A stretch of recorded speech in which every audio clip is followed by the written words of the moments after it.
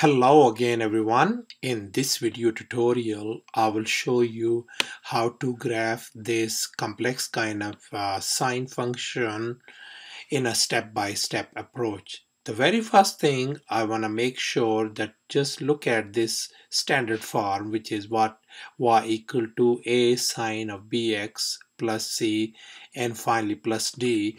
We are going to compare this with our original given function and we'll find out a b c and d and with the help of those parameters we will find out amplitude period sinusoidal axis vertical shift and phase shift. So the next step is we're going to compare uh, this our given function with the standard form. That is tell us that a equals to 3 and then b equal to how much? Uh, x over 2 is same as 1 over 2 times x. So that means b turns out to be 1 over 2 and c is how much? Pi over 4 and finally d is simply negative 5 so given those values now we're going to figure out all these amplitude and so on. Look at the formulas on the right hand side, they're going to help us a lot. So the amplitude is simply the absolute value of A which is 3. So that's going to be our amplitude is 3. Our period is always what? 2 pi over the absolute value of B which is what? 1 over 2. Once you simplify that, that's going to give us 4 pi. So our period turns out to be 4 pi and then our sinusoidal axis is simply y equals to d which is d is how much? Negative 5 by the way sinusoidal axis is in other words we also call it midline central line central axis or equilibrium line. So from this one our vertical shift is just the same thing. This is gonna give us vertical shift which is how much?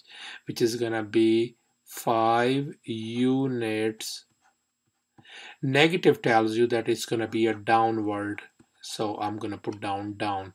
So now we're gonna see how this graph is going to look like how much maximum it could go and how minimum it could go. Maximum you just put down whatever your y is negative 5 plus your the absolute value of your amplitude is 3 so that's going to give us negative 2 so our maximum is going to be negative 2 and our minimum is going to be a negative 5 and then minus the absolute value of amplitude.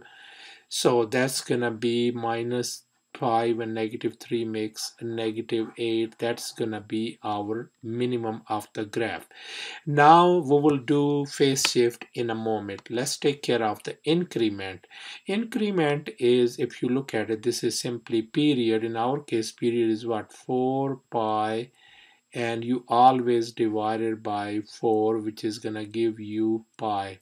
So that is gonna be our increment now we want to do the starting point of the given function. That means the starting point of the graph. So in order to get the starting point, I want you to put down whatever inside this parentheses, whatever this quantity is, I want you to set that one equal to 0. So I'm going to put down x over 2 plus pi over 4 set it equal to 0 and solve for x. So that means our x is going to become what? Negative pi over 2.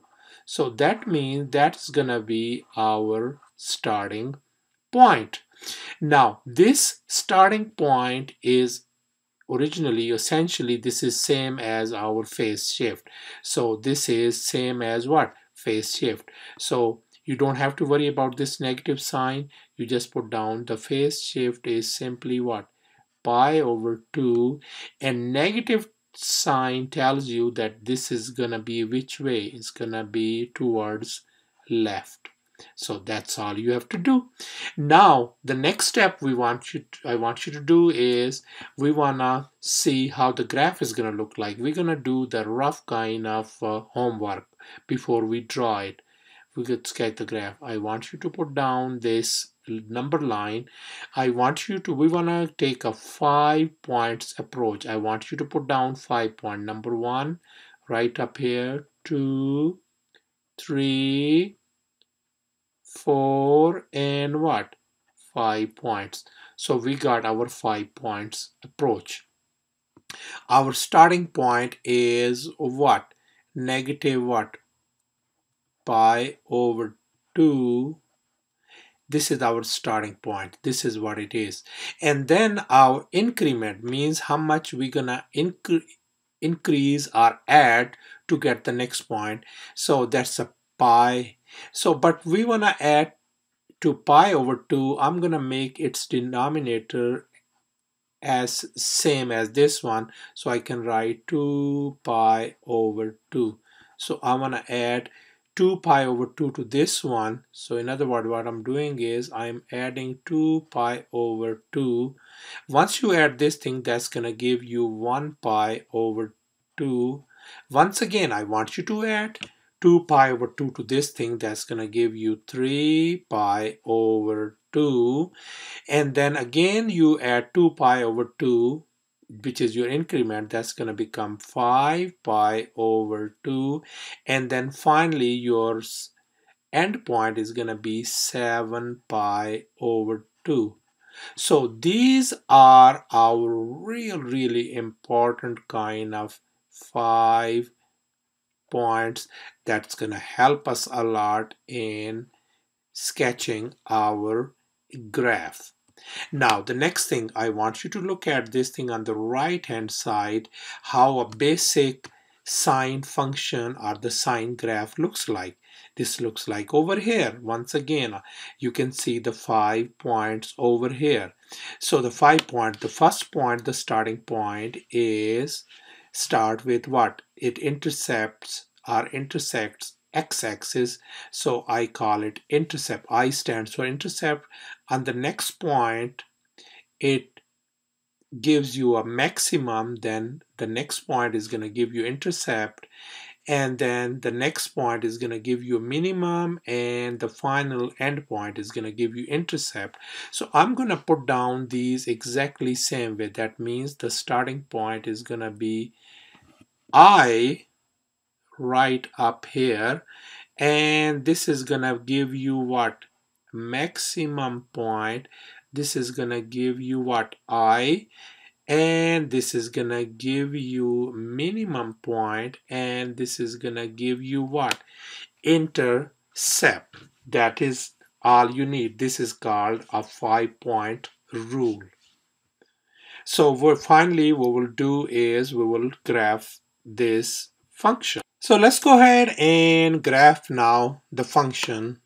So here is our x-axis and y-axis and I just simply plotted, put down those five points that we did in the previous step.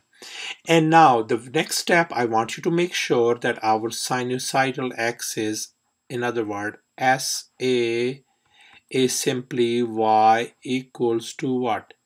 Negative 5 so I just went ahead and drew this uh, this uh, line at y equals to negative 5 and you also know that we have what the maximum point is at y equals to negative 2 so the maximum point is right up here y equals to negative 2 and uh, the minimum point is gonna be right up here. Minimum is y equals to negative 8 so these are the points. I just want to make sure these are the points that we will be looking at. So once again this is y equals to negative 5 is our central axis or we call it sinusoidal axis negative 2 y equals to negative 2 is our maximum and y equals to negative 8 is our minimum right up here. You can see that one. Now we're going to go ahead and simply put down those points. Now we know that our this point over here negative pi over 2 we know that this is gonna be intercept we know that this is our what intercept this is our what? Maximum. This is intercept. This is minimum. And this is what? Intercept. So the very first point over here is going to be what? It is going to be intercept right here on our sinusoidal axis this is our intercept then at this point over here our maximum point is gonna be right up here. And then our, the, our next point is gonna be our intercept right as you can see. And then at this point 5 pi over 2 this is going to become our minimum right up here. And then finally at 7 pi over 2 this become our intercept. So this is gonna be right up here. So now we simply gonna go ahead and plot this one over here. So see right now I just want to take my time. I want you to just go ahead and graph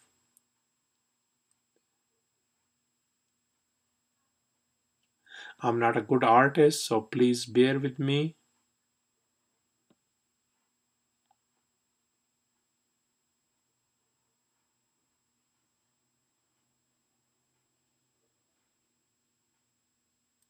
So this is essentially our function which is a sine function and this is the graph by the way okay? And this keeps going on and on and on like this one over here on this side and it could go downward like this one. So that's pretty much it. I hope you enjoyed this lesson. Thanks for watching